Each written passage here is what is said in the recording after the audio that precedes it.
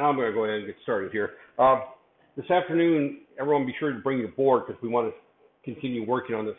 I'm going to go through some topics today that I, the final exam has been written, it's been submitted, everything's been done. I put up that sample test. Now, today's lecture and Wednesday's lecture, during the lecture time, I'm going to be hitting topics that are definitely on the final exam. So, you know, it's one of those things that you need to make sure that you understand these last few lectures. I kind of joked around with the class during the regular semester last semester because uh, there's a tendency I notice around here that students will attend their 80% of their lectures and then skip the last week or so, and that's a foolish thing to do. And the reason I say it's a foolish thing to do is if you're going to skip class, and everybody every now and then has lazy days, you don't feel like going to class. I I understand that. I have a few of those days myself. Unfortunately, since they pay me to be here, I have to show up. Everybody knows if I don't show up to class, that there.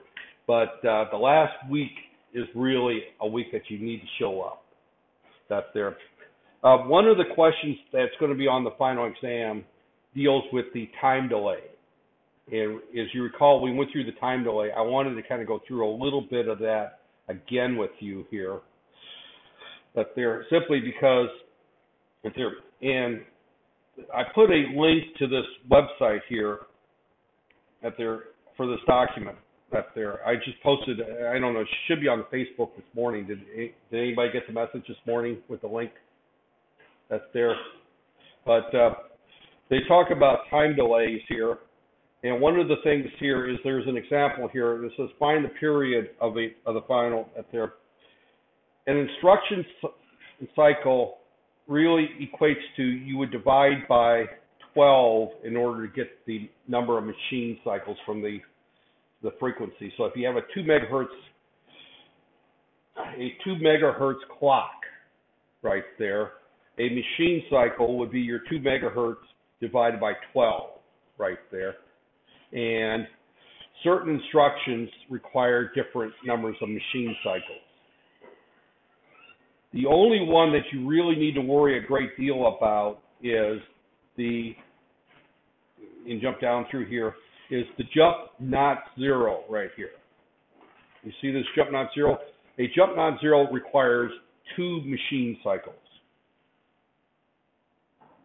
And the reason this is so important is that you're going to see see there find the time delay in the following following right there. And the one you're going to see is the one from, for example, let me just pull up here, right here, and let me, I need to bring up my calculator here. Uh, all apps, bring up the calculator, right here. Right here. So if we put this in normal standard notation right here, well, let's put scientific, that if we have a 2 megahertz clock frequency, that's 2 megahertz right there, and we divide that by 16 equals 125 hertz right there. There's 125 kilohertz. That's there. And you take 1 over x for that. And where's my 1 over x button on this thing here? It should have a 1 over x. That's there. Uh, yep. Where's my 1 over x? Oh, you know, I screwed that up. Your calculators have 1 over x keys, but uh, let's start over again. 2 megahertz, divide by, you know, let me go back to here, go back to my example right here, this discussion here, is that you divide by 12. I divided by 16, divide by 12, right there. 2 megahertz, right there. You divide that by 12, right there, and then you take 1 over x for that, right there. And where's my 1? I don't have a 1 over x key. Converter. This calculator is not as good as I thought it would be. Where's our 1 over x? We don't have a 1 over x key. So let's just store that. Right there is a, is a store. Scientific, let's go, let's go standard here. And the standard has a 1 over x key. Okay. That's where I, let's start over again. 2 megahertz. divided by 12 equals, right there, 1 over x, right there. And if you do a 256 iteration times 256 equals times 256, here's 0.4 seconds is basically what you would get. If you go back to our, let's find Blinky here. I think I have Blinky somewhere on this.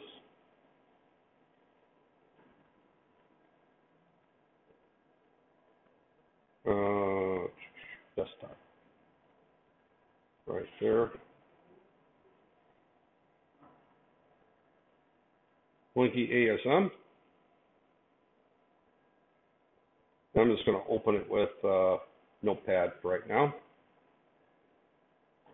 And if you look at this right here, and I want to go through the timing on Blinky here a little bit because again, that there, when we look at this particular instruction right here, right here, you'll see that load R5 was zero zero, right? And then the next command after that is jump not zero, and I use the dollar sign. The dollar sign means it goes back to the same place.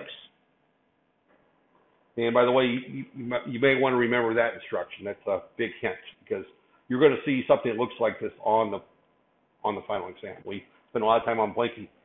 So that means that we subtract one that goes to 255, and this keeps going around. So it's going to go 256 times that inner loop right there. Right there. Now, if we look at this loop here, we do the same thing. We're moving 0, 0 into R6, and then we decrement not 0 R6 and we loop back to, to loop zero. So that's doing an inner loop. So we do 256 times 256 times. And that gave gives me back to my calculator right there, right here. Because and where I got that number from, and you might want to go through this right here, is that the inner loop, the, the clock frequency is two megahertz right there. We divide that by 12 right here. That's our machine frequency, 166.666 kilohertz right there. If we take 1 over x, that's the number of that's the number of seconds it takes to execute one jump, not zero. Right there. Well, we're going to do the inner loop 256 times. So we're at about 0.0015 seconds per inner loop. We do the inner that inner loop, we have the second loop, we do 256 times. Times 256, right there. So that's 0.4 seconds. So if we want a one second delay, we, we're not going to get a one second delay. The closest we're going to get is a 1.2 second delay we would do that three times. That gives us a 1.17 second delay. If we divide that by three, if we want, say, for example, a five second delay, how long would we have to do that? And the easiest way to do that is divide this by five and hit the one over x. We have to do it about 13 times right there. So again, you, you're going to need to know how to do this for one of the questions right there. So let me repeat the process again is that when we look at the 8051, we look at the clock frequency and we divide that by 12, and that's the number of machine cycles that that there. And let me let me write this out. Let me pull the pin out and let me write the procedure out real quick, right here.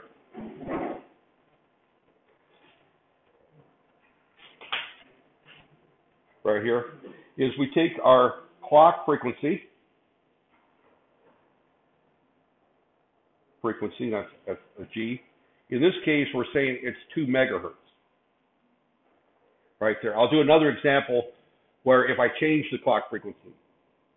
The machine cycle frequency, cycle frequency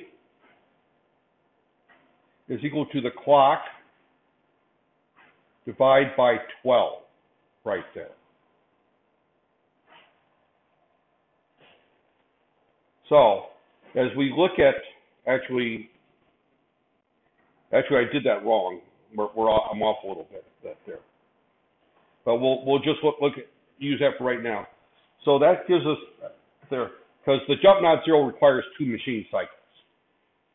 So I'm off by a factor of two. I, I left that there. So the jump not decrement jump not zero requires two machine cycles. Right there. So we divide that by two again. So, so again, jump decrement not zero. Right there. You know, that command, decrement jump not zero, means that we're going to execute this frequency divided by two. So I'm off by a factor of two. So my example is wrong that I did the first time. So, so good thing I'm going through this again. So as we look at this right here, right there, it requires two machine cycles. So we take the machine cycle frequency and we divide that by two again, right there. And the reason I say that it requires two machine cycles is going back to this document right here.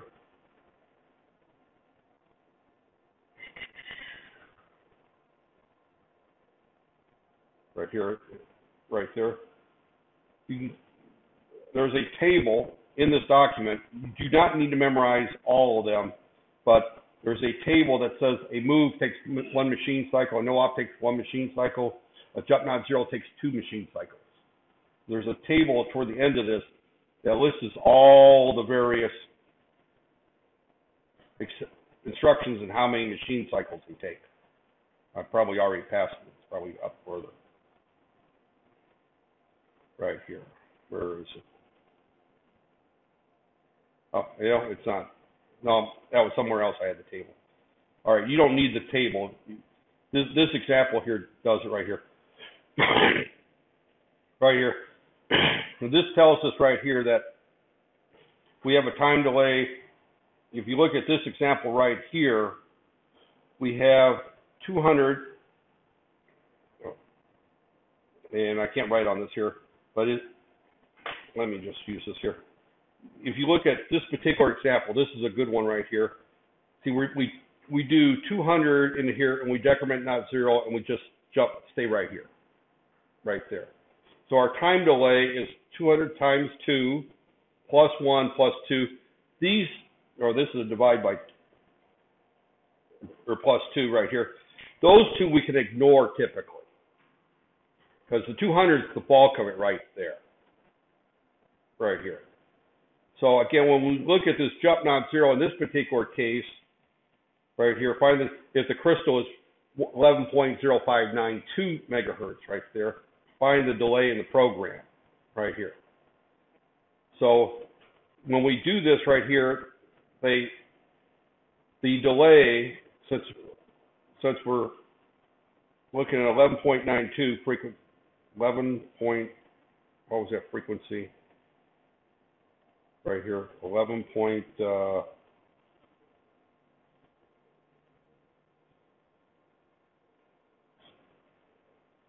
oh, here it is, okay. Eleven point zero, uh, oh,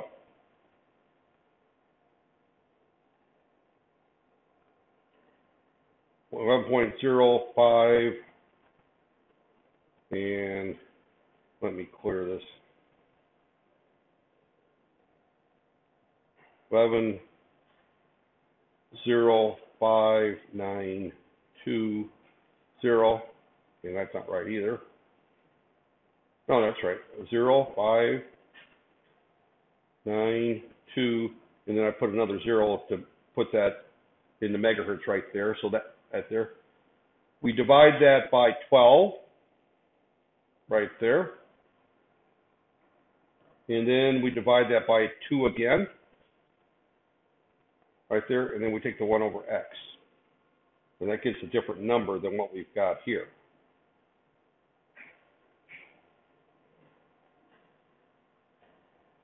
Because find the delay crystal. Yeah, four four point three two.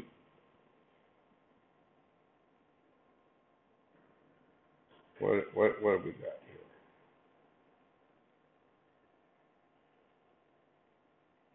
here? This is not making sense here. There. 200 machine cycle. Oh, okay. I, I see what they've done here is they multiplied it by two here to get that result right there. So, so let's go back to my calculations right there. So, so let's do a clear here. Let's take our 11.50920, and that's right. 11.0592.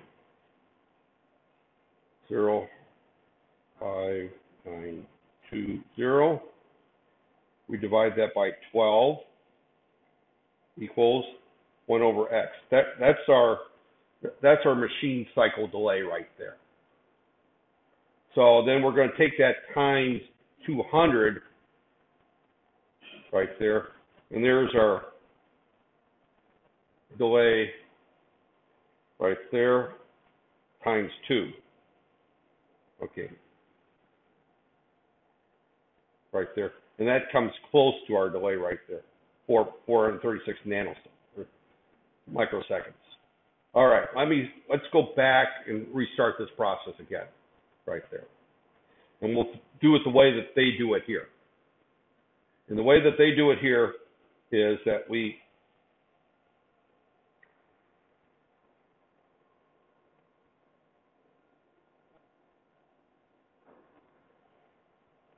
Okay, let's start over again. New page.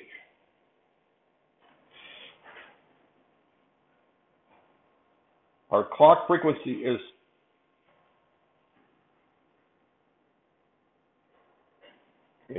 oh, I keep forgetting to change batteries here.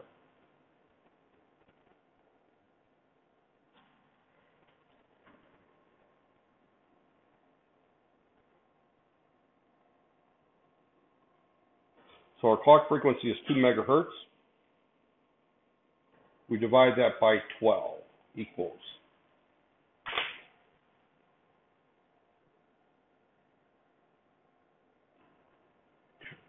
Two megahertz divided by 12 equals 1.1600, 1 over x. So that looks like I don't know why we don't have a 1 over x key.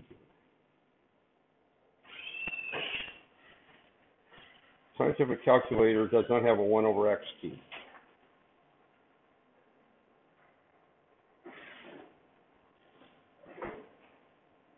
Right there. That makes life interesting. Fortunately, you have real calculators, right?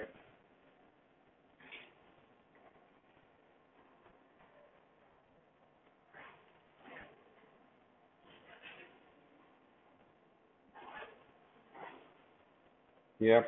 So standard calculator has a 1 over x key. The normal one doesn't. So, all right, 2 megahertz. Divide by 12 equals 1 over x. So that that's our time delay for for one machine cycle right there.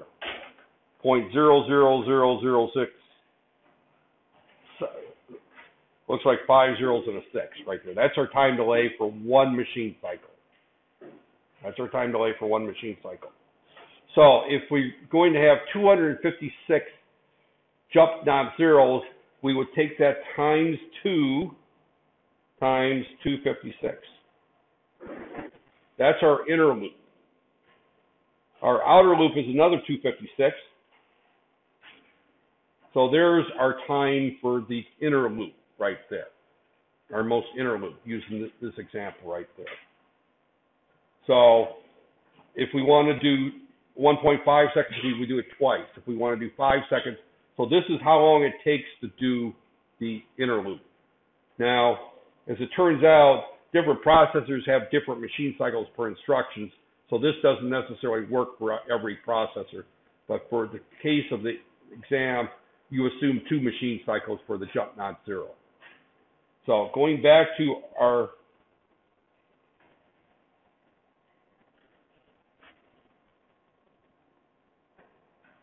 discussion right there, this is 16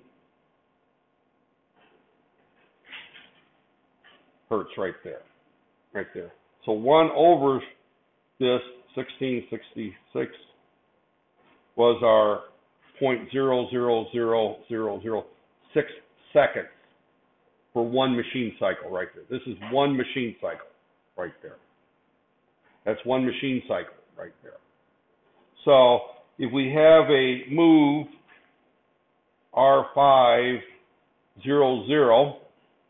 there's a number sign there, immediate, and we have a jump not decrement jump jump not zero.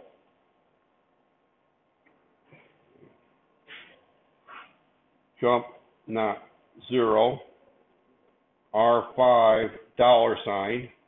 That means we're going to jump that there. This means that this is going to do this 256 times, right?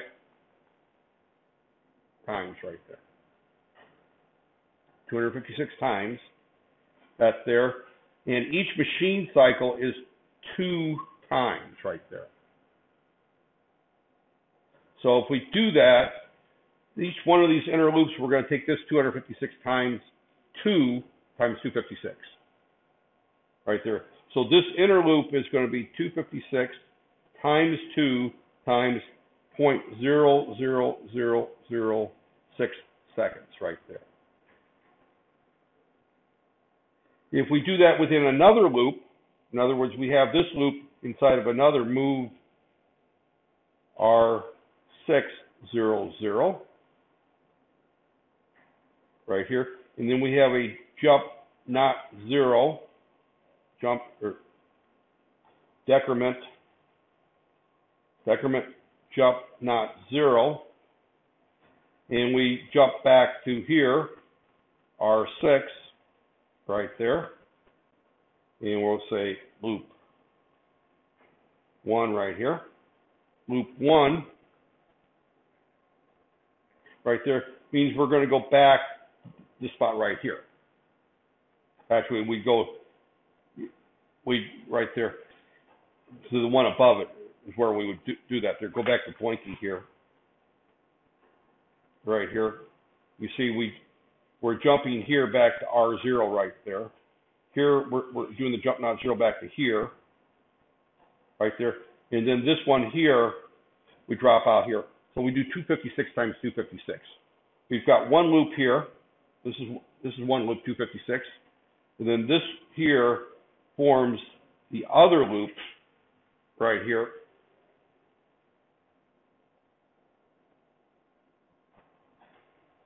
This forms the inner loop right there.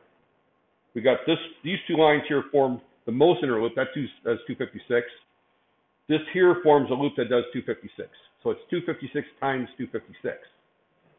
And then this here means that we're going to do the outer loop or those two those two inner loops six times. So that would give you an idea what the delay is right there. So again, you'll have to know how to work through that there. This look at this website wherever I put the website. Right here.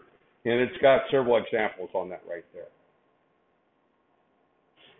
But you're going to see that in conjunction with, with Blink, you know, this code, this type of code right here. Where you're going to see this particular, and you're going to have to be able to change the time delay. And we did that in that first lab. And I went through the calculations in the first lab. I'm just reviewing it because because because it is on the final exam. Not there, where you're going to have to there. So you're going to have to know how this time delay function works. That's there. So again, quick quick review is we take our clock,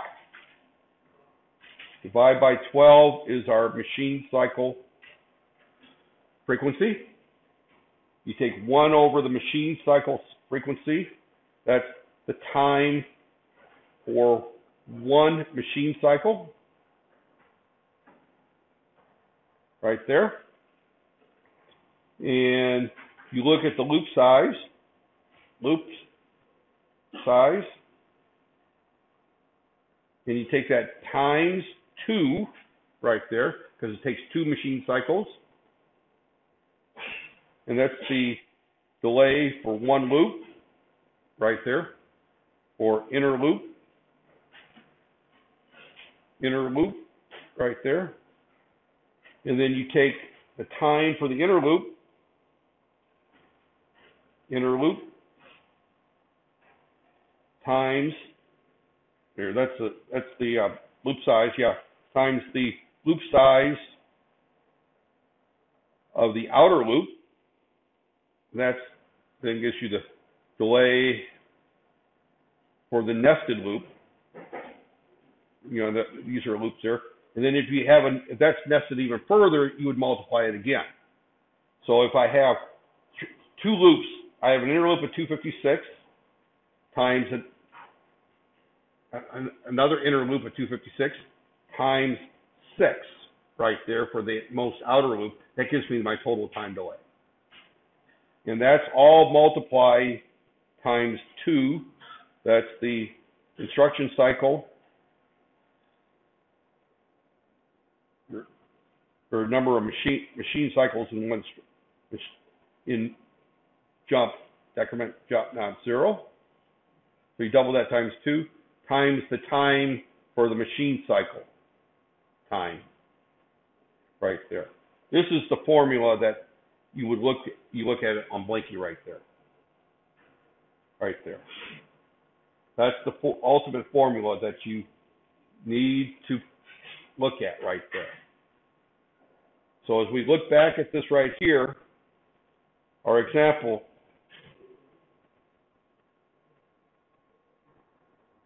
our example here, this is this is 256. This is 256 right here. And then this one here is 6. Right there. That's where I get 256 times 256 times 6. Right there.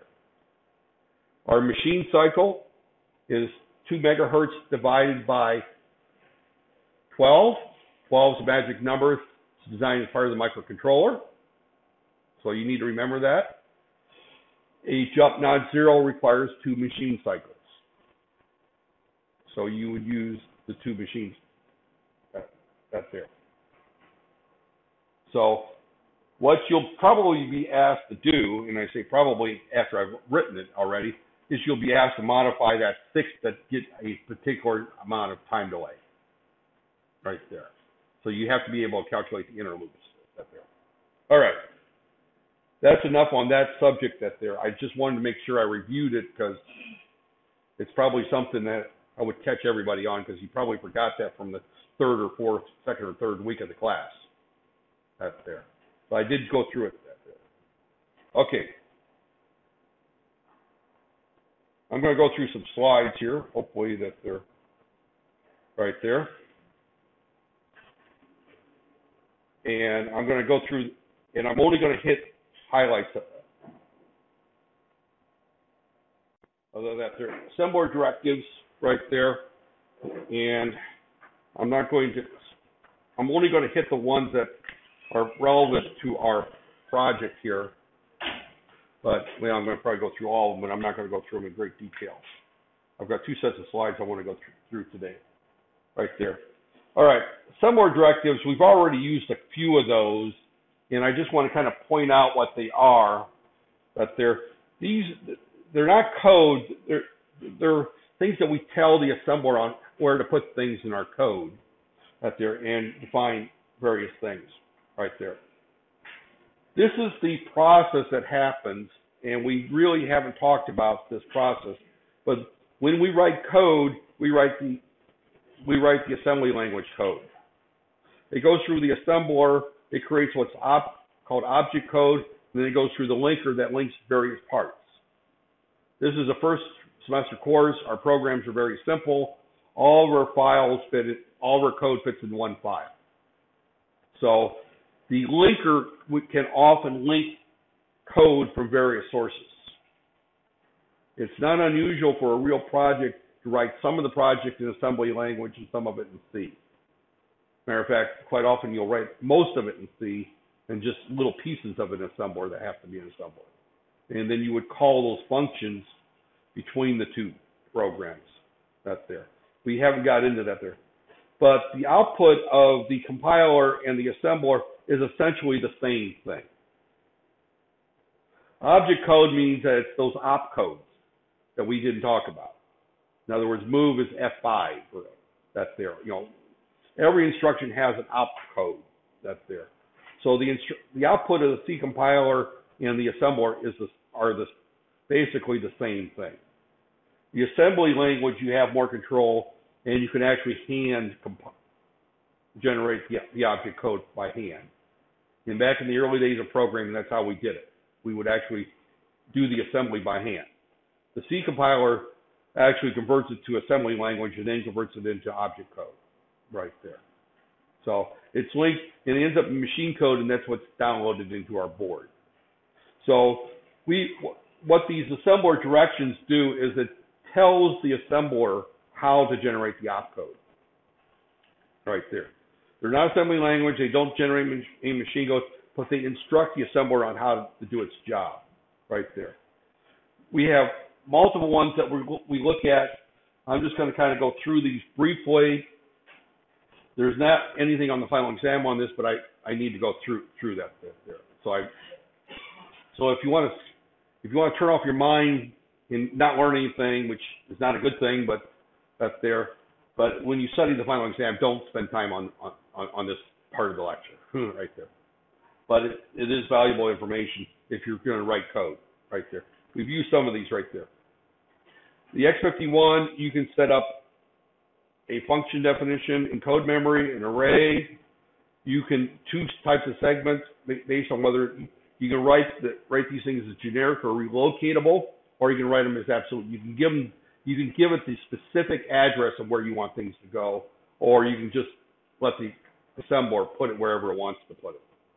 90% of the time, we leave the assembler put things where we want, right there. And each of the two types of segments can be specified with one of the following five memory classes. The again, the most common one is code, data, and X data. Those are the three that we would use more than any place else. But we have I data and XB data or bit data right there, where we can define things as bits right there. Right there. So typically, we've seen this already in Blinky. If I bring Blinky back up here, did I close Blinky? Right there. If I bring Blink up, oh, excuse me. Oh, evidently I closed Blinky. That's there. Now let me bring it back up again. Open with Notepad. If we look at Blinky, see we set up Blink in the code segment right there. Right there. So we've already seen right there my data. This is setting up in the data segment. In other words, we're setting up something in data right there with memory class data right there. We, we have not done anything with the data segment, nor will, we have much time to do anything with the data segment. That's there. We can set up the R segment in, in my data right there. There we can select segment there and we can put the data in there. We can also specify specific addresses right there. So typically, and we'll look at an example of that there. I can say that my code segment is going to start at address 300 hex, which is we, as you as you recall, looking at our code, or we can say our deep data segment is going to start at memory location 0400 right there. We can give it specific addresses right there. We can use the org right there, org 30, and we can say here we're going to specify org 80 set the location there, and we can specify where we want things to be placed. Again, we're not going to be using that until you see an example of it. It's not going to necessarily make sense. And then the last one is the end, right there. Symbols, that there. We're going to use the equate for that. We have I use the equate multiple times. You know, in other words, LED green LED at equate port 0.1, for example, right there.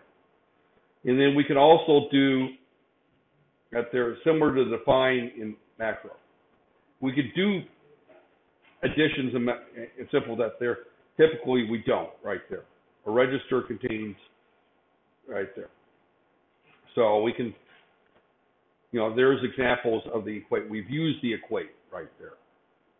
So the equate, as you as we go back and we look at, oh, right there, we can see that we, this one doesn't, oh, yeah, right here is an equate right there. So we've used the equate that, right, right, right there. So, so again, all we're doing here, again, we're, we're setting right here. Here's again, we're, we're doing a seek in code segment at location zero. We have a long jump to main. When we put the code segment at zero, it means that we want that code to be at memory location zero, zero, zero, zero in the code segment right there. And that's important in this particular case because that's the reset vector for the 8051. When we power this up, the first thing we want this thing to do is do a long jump to main right there. And main is defined down here, and that's right here. We have, it's in the code segment. We're going to switch to the R segment using zero. In other words, specify which register bank right there. And here's our code. So we do a long jump to main. Now we don't tell the compiler where to put main. Main can go anywhere in the code, right there. As I recall, I put it at 300, you know, the default location. We we could specify the location, right there. The reason we don't, and this is is important to keep in mind, the reason we don't just stick main at zero zero zero zero is because at the top of memory is all the inter, interrupt vectors where places are going, and we need to leave that space open. We really haven't looked much at that. We'll talk about interrupts in a few minutes here, but the interrupt vectors are at the top of memory and they contain memory locations. So the interrupt vector for the reset is at location 0000, and so we just place in there the code that tells you to do a long jump to main right there. So, right there. But there's our equate. Our set means that we're going to set a value as table times table. I'm not going to worry.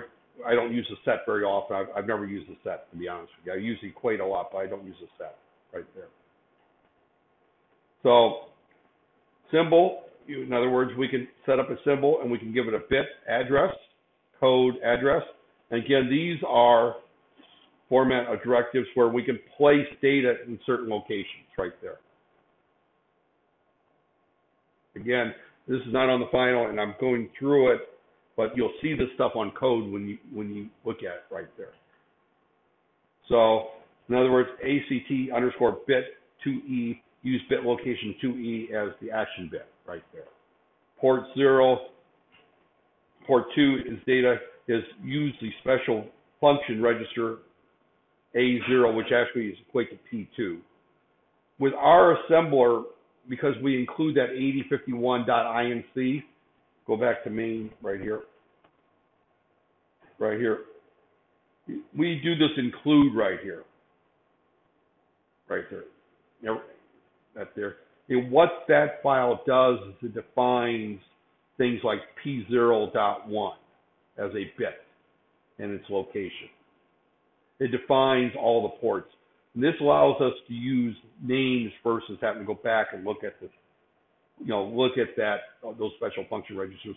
We can just use the name of the special function register and not do here. A0 happens to be, if we look at our special function register, the location of P2. Right there. And I know what, I've gone through that table. I'm not going to go back and find that table now. But, you know, P2 is a location in the special function registers we went through on an earlier set of slides. In that location is A0. Because we use that, we include that C8051F850.inc, we can just say P2 right there. That's defined in that file. Now we can initialize memory if we had a longer course and I could go much faster, we would be going through and setting up memory spaces. As a matter of fact, we would be doing, we'll, we'll probably do a little bit of that this afternoon when we look at the, um, our code for, for, for this, for the uh, 216-bit multiply. We'll be setting up some locations in memory to hold our data right there. These directors initialize and reserve the locations, and we can use a byte, a word, or a double word. We're doing 16-bit multiplication, so we're, we're going to use word, right there, words for that there. Directive reserve memory with that is data segment right there. We'll reserve a special number of bytes in the current segment. All that. Label and expression. That there. So I can put label, you know, number one, data byte, lower byte, upper byte those types of things right there. It can be a character string symbol. So we could that's where we could put our numbers, you know, store that in memory and not in the registers. Right there. Label is the starting address where the bytes are stored, and then it can be a character string or a bit constant right there. So that so we will probably use this in order to store our two numbers, to our to, to our multiplication. Again, we can have a ASCII string defined right there. We can set up an array, defined byte. This is in the code segment at location 200. So this is going to go in the code segment. And we're going to, in location 200, and then it's a message, defined, please enter your password.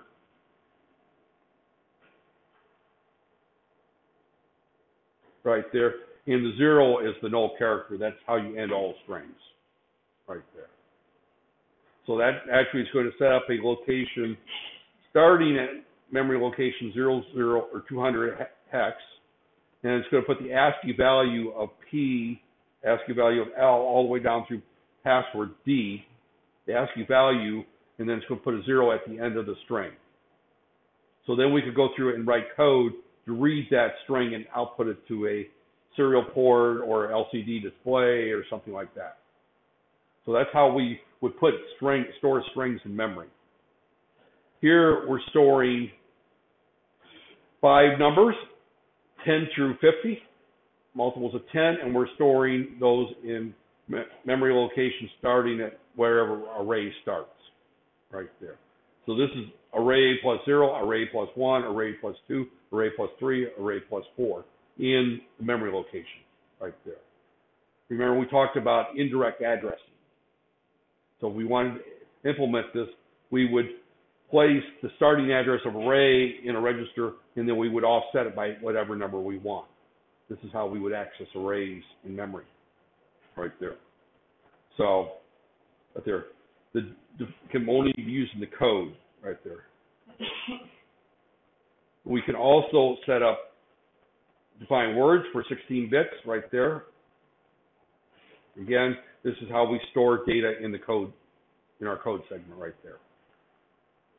Define double words, which is a 32-bit number, same type of thing there.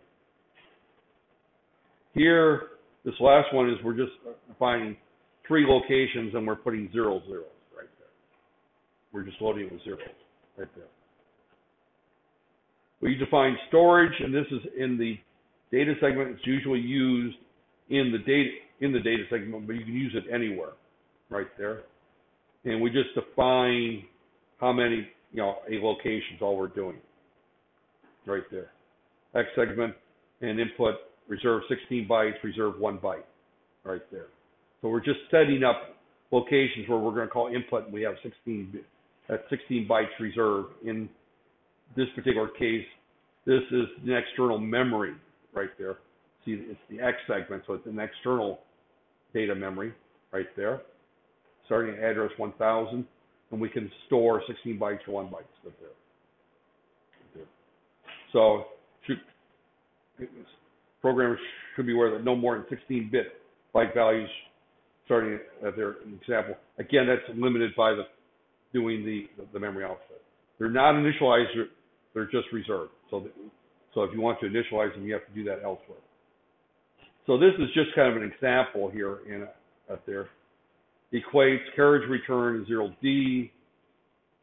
Oh, right here, we're saying a code segment, we do our long jump to main right there. Here we jump, we do an OR, we do a jump to timer for interrupt vector right there. We, we actually do interrupt vectors up there.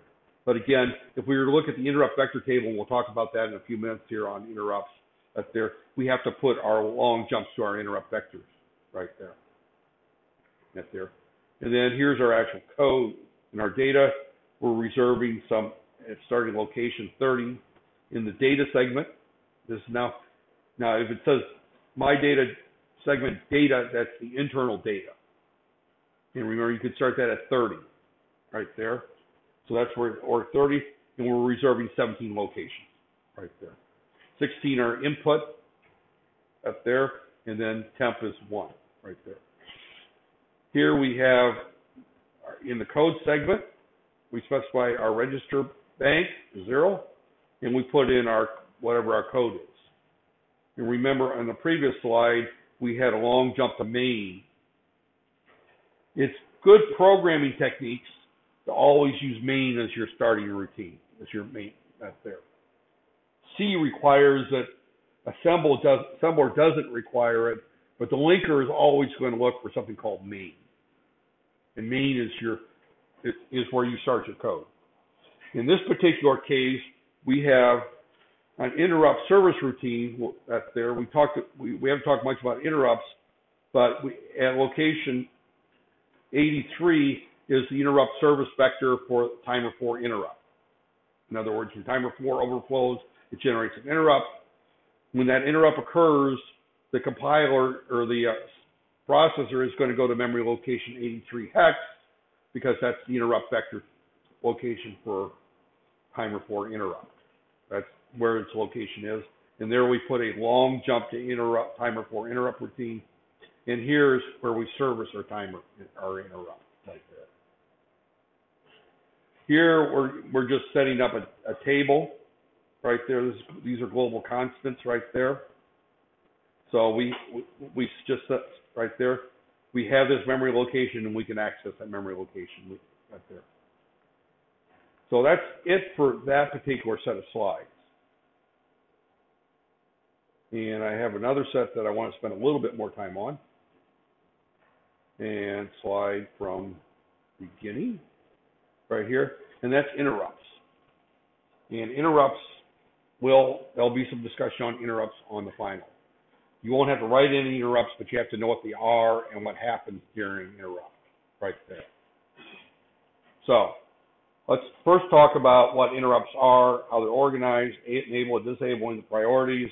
We have a list of topics there I haven't posted these slides. I'll probably just post them up on the Facebook page here when I finish my discussion here, right there. I'm not going to post the one, the previous set of slides because there's no questions on the final exam on that one. This one there will be questions on the final exam on. So, an interrupt is the occurrence of a condition causes the program to stop what it's doing and do something else. An example of an interrupt would be you're pumping gasoline and you hit the emergency stop button on the gasoline pump. That is an interrupt right there. you're driving your car down the road and the temperature sensor goes over a certain level and it generates interrupt saying that you've overheated your car. That's assuming that you or software designed to handle what to do when when, when the car overheats. That's it. They are important because they allow the system to respond asynchronously to an event and deal with the event while in the middle of performing another task. They also give the system illusion of doing many things simultaneously. Know this slide. Know the two advantages of interrupts. I can't stress that enough right there. I mean, I am just telling you right now that expect what are the advantages of interrupts or why do we use interrupts? Just expect that question to show up. And this slide is the answer to that question right there. You know, normally I don't coach people on final exams, but in this particular case, I'm going to go ahead and coach you right there that you need to know this slide right there.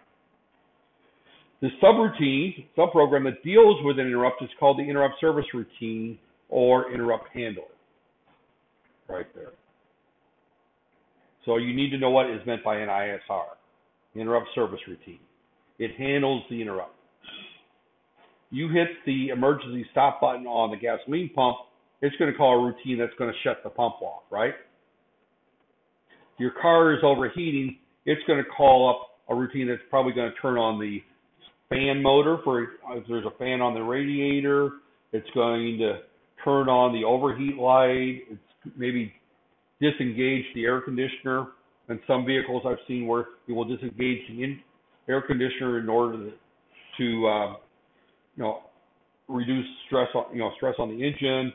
Various things will happen when when an interrupt occurs. Got there. So this slide tells us basically why we use interrupts. They are important because they allow the system to respond immediately. You can use the word immediately to an event and deal with the event while it's doing something else. Now, while your gasoline pump is pumping gas and incrementing the dollar amount and incrementing that there, uh, someone hits that button, it stops doing everything and it shuts the pump off and probably sounds a buzzer or something to tell what's going on. That's the emergency right there. So we, so an interrupt allows the system to respond immediately or asynchronously while it's doing something else to an event. It also gives the illusion that you're doing two things at the same time. That's there. So it allows the processor to go off and do something else while in the background it's monitoring these interrupt signals right there. The interrupt occurs, the processor stops what it's doing, and it services the interrupt. When it's done servicing the interrupt, it will do a return from interrupt. That's there. The interrupt service routine ex- executes in response to the interrupt and generally performs an input or output to the device. But the interrupt service routine does something to solve the problem. That's it. I look at the interrupt as, for example, a nurse working at a at a hospital. That's there. And you know, I've only had experience as a day patient in a hospital in Malaysia. That's there. I haven't spent a lot of time in the hospitals, but I put an ex-wife through nursing school, so I know I know what nurses do on the job. Because I used to bring lunch to her or dinner to her quite quite often. There. So I've spent time hanging around nursing stations. So I've never worked, and I and I did work in a in a hospital one time, but I was a psychiatric attendant. That there, I had to deal with the the Orang Gila. That's there. so in my skill set is I know how to put a straight jacket on. That's there. If anybody knows what a straight jacket is, that's the thing that they put on people where they hold the arms where they can't do anything. So I learned how to put put those on the people when they're fighting. So that was part of my skill set at one point. That's there. So, but so I understand. But if you look at a nurse sitting at a nurse's station, that's there. You know, it's three in the morning, nothing's happening, the floor is quiet, all the supervisors are gone. So what is that nurse's typically doing? Uh, she's probably on her Facebook, you know, in today's era, maybe surfing the web. You know, American nurses tend to read sleazy female, you know, romance novels. That's there. but you know, but they're doing everything but work, right? That's there. Yeah, that's there. All of a sudden, an alarm goes off on their desk, right? Something has happened in room 25. You know, they they have a say, for example, an, an infusion pump that pumps fluid into a person's arm with medicine, for example, and it, and it, and it malfunctions. So it sounds an alarm on the nurse's station, station right there. That's what an interrupt is do, does. It, it stops the processor from what it's doing. That nurse then has to stop whatever she's doing or he's doing. In Malaysia, I don't think I've seen too many male nurses. In the U.S., there's quite a few male nurses, but uh, that's there. But they're going to stop what they're doing and they're going to perform some type of operation to service that routine. With a microprocessor, it's usually a device. With a nurse, it's usually a patient's room, a piece of equipment is malfunctioned, or a patient's just hit the call button and says that, can you go down to the canteen and get me a sandwich? That whatever. So, that there. So when the interrupt occurs, the main program temporarily suspends execution. The nurse shuts down her Facebook page or minimizes it in most cases, right? That's there. Puts a bookmarker in the book.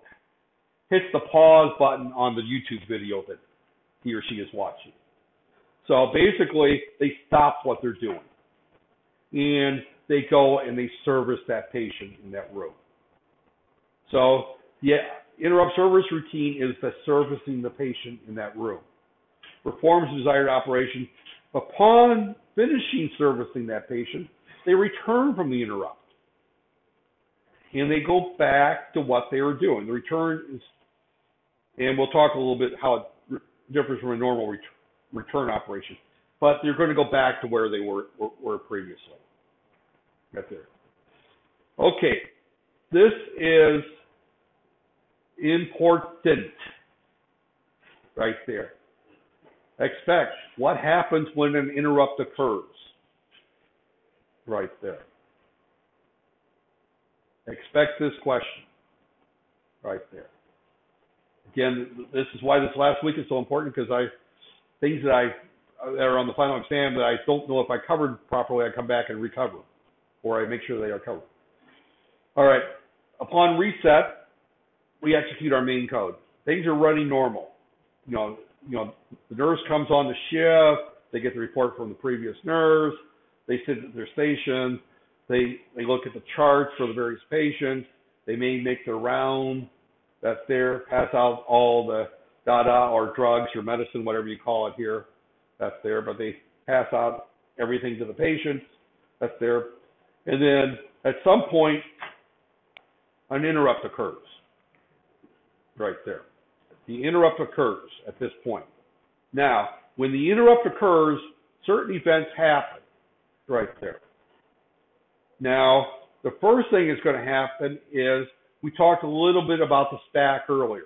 The stack is a location in memory that is last in, first out.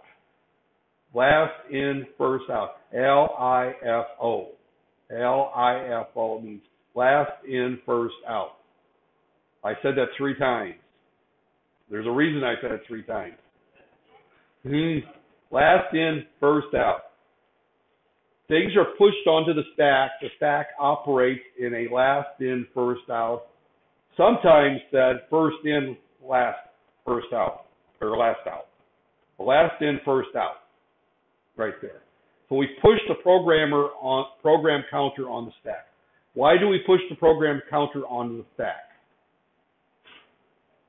So we know where to go back to. And so we, we are putting a bookmark in our book. So that's why I'm going to go back to our nurse. We're going to assume that this is a nurse that likes to read romance novels. And I, I, I don't know. Malaysian women don't read romance novels too much, do you? Malay novels? That they're instead of books, I read books, but American nurses read a lot of really rotten written romance novels. You know, the guy, the you know, the one meets the the good-looking guy, that type of stuff. So, so upon getting the interrupt, the first thing the nurse is going to do is she's going to put a bookmark in the book so that she knows what page to go back to. Now, if you hit the pause button on YouTube video, that's the equivalent. You know, you know, you, you kept your place on the video.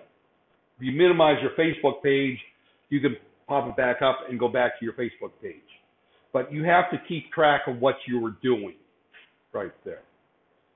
The next thing we're going to do is we're going to push the registers onto the stack.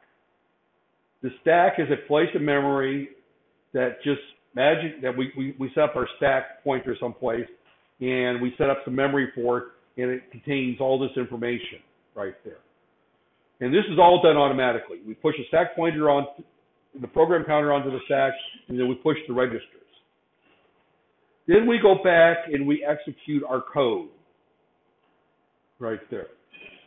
The code that is executed is pointed to by the interrupt service vector. We'll talk about that later. But we're going to execute these interrupt service routine code. At the end of our interrupt service routine, there's a command called RTI, RETI, return from interrupt. And that tells the microprocessor that we're done servicing this routine. Now, in the case of the nurse, the you know infusion pump has you know been refilled, a new bag of uh, plasma has been hung from it, or whatever medicine that they're giving the patient. If the patient called for a sandwich, the, the sandwich has been ordered and delivered, whatever occurs. We service the interrupt service routine right there. Now, as a programmer, you would write the interrupt service routine. You know, this is a relatively short course. We really don't get into time to do that, but you need to understand this process. Then we pop the registers back from the stack. Remember, last in, first out, right? The first, the last thing we popped, pushed onto the stack was the registers. So the first thing we pop out is the registers. It's done in reverse order. If we push them in R0 through R7, we're going to pop them out R7 through R0 in reverse order. So keep in mind that this is in reverse order. Last in, first out, right there. And then we pop our programmer back to off the stack, and then we continue back to where we were at. So this is the execution flow for an interrupt, right there. So definitely, definitely, I can, I could even go as far as saying that I can guarantee that there's a question there, and it's probably worth almost five, ten points where you know this table. Hmm. so that's there. I really, really point out that you need to, to know this flow chart. That's there. Okay. Now we're getting into some details, and I'm going to tell you right now that I'm, the final exam doesn't have any of these details. So as I'm going through this, if you want to ignore this part of the discussion, it's not going to show. It's not going to affect your final. It will affect when you go out to work try to try to do that. All right, we have four external interrupts. They're called interrupt zero, one, and six and seven. Those are tied to pins on the microcontroller if we set them up on the through the crossbar. You know, the crossbar is where we assign our I/O pins right there. Remember, that's our interface because we only have a few. We have five timers. Now, our, our processor may have, I think, only has three timers. That's there. And then we have two serial port interrupts. So we have many, inter, you know, multiple interrupts that right there.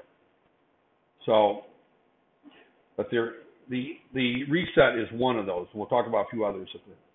Each interrupt has one or more interrupt pending flags located in a special function register. In other words, when it generates an interrupt, it sets a flag at their their when a peripheral external means a valid interrupt, the associated interrupt pending flag is set to one.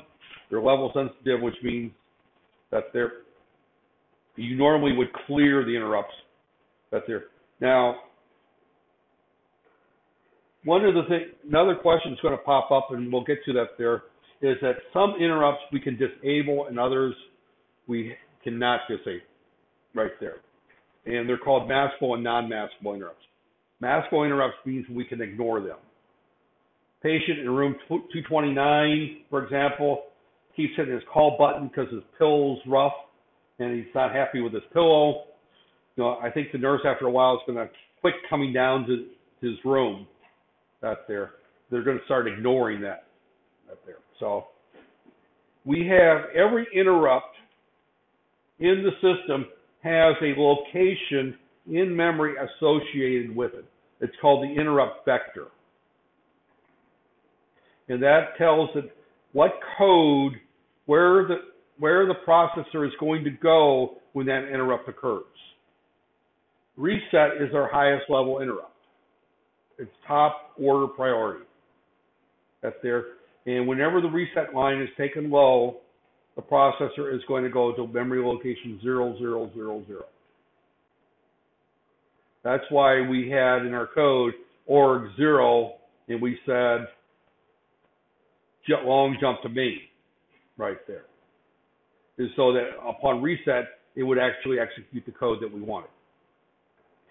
We have different interrupts, and if we're going to use those interrupts, we have to place in those locations the, the interrupt service routine. Now, that's taken care of for a large part the way we write our code, but we're not going to get into that there. This class, we don't have enough time to do a lot of projects with interrupts back there. I've used interrupts a lot.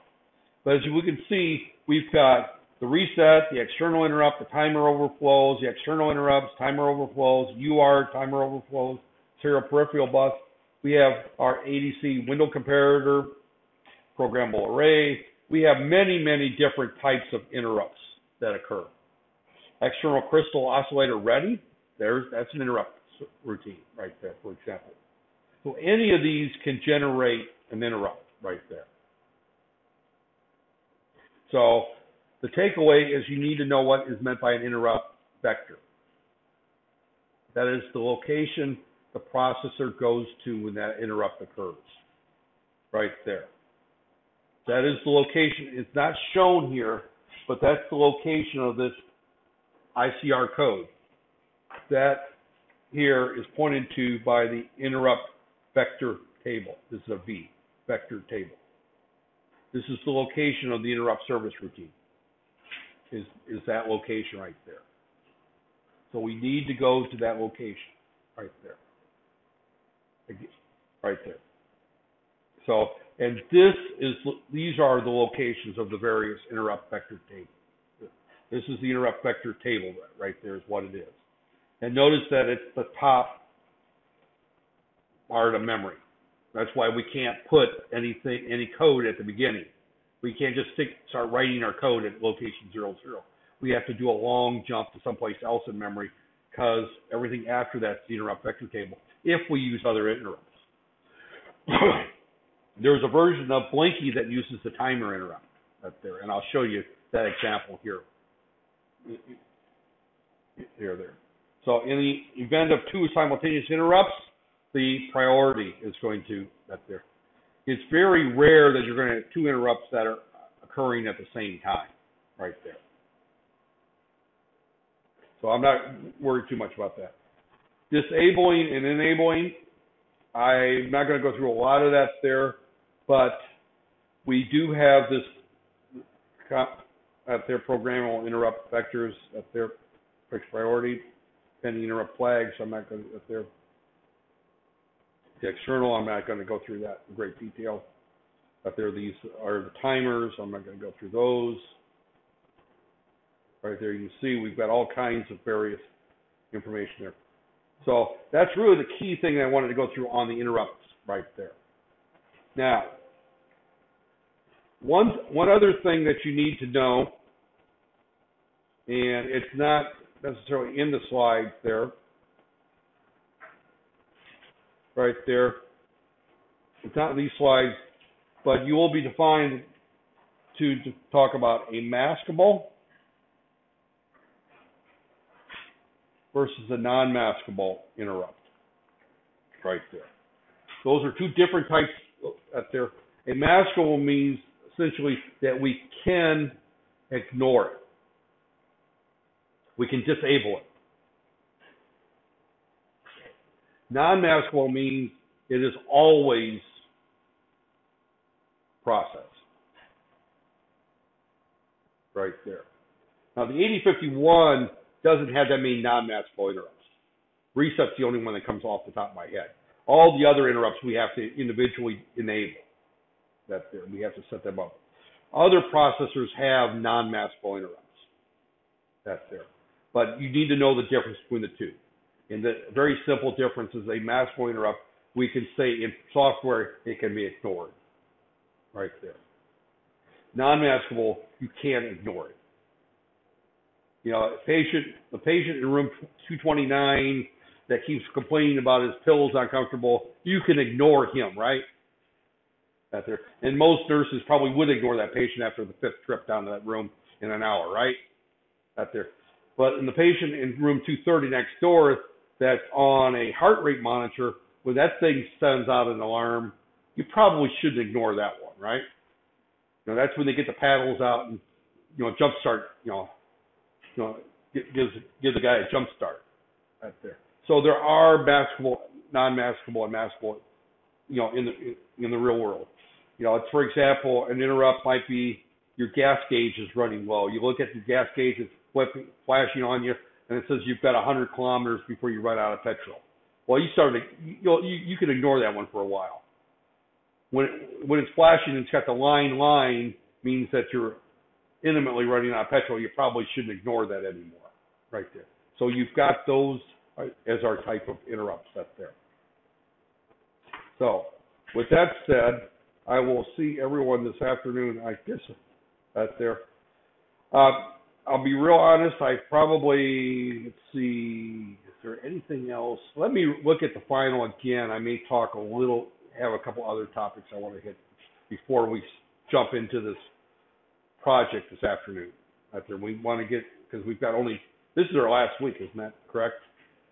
So anything that's not covered this week, and it's on the final exam, well, I've got a problem. So I, so anything I cover this week is very important right there. And I did post that, that question. I, I have not looked at what I posted right there.